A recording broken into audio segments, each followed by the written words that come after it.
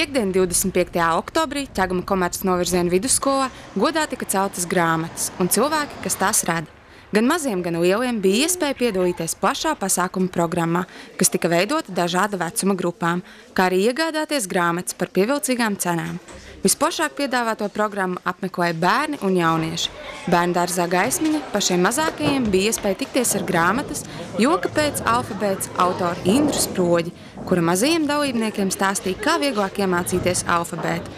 Pamatskolas vecuma bērniem un jauniešiem lielu interesi izraisīja dabas pētnieka Māra Oltas vadītā saruna. Mārim jautājām, par ko viņš jauniešiem stāstīja. Es, man nekad nav nekāda iepriekš sastādīta plāna, par ko runāt.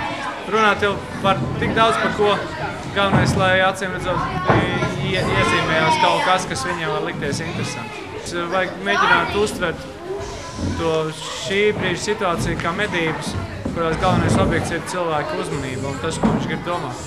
Tā ir tā centrālā lieta cilvēkam pastāstīt par to, to vietu, iedot, ka viņš drīz kaut ko gribēt, viņš tikai izmanto piedāvājumus. Apjautājot svētku apmeklētājus, radās priekšstats par to, ka arī mūsdienās grāmatas ir lielā cieņā.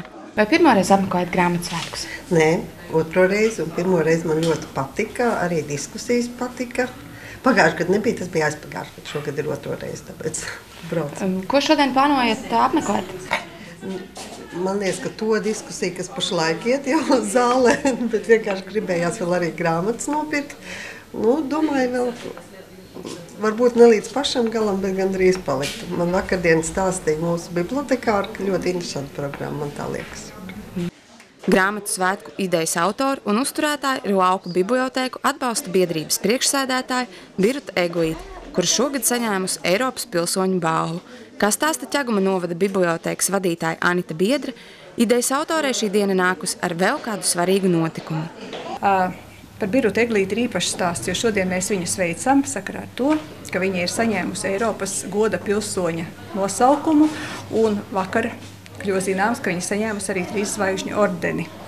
Tā kā par šiem 12 gadiem, kas ir paveikti, lai atbalstītu lauku bibliotekas, Miru Teglīti ir saņēmusi arī, uh, es domāju, pelnītu apbalvojumu. Kādā no mūsu turpmākajiem sižetiem aicināsim uz sarunu grāmatu svētku idejas autoru un grāmatu mīļotāju Birutu Egoīti. Zana Dāle, Artis Supe, Ogras televīzija.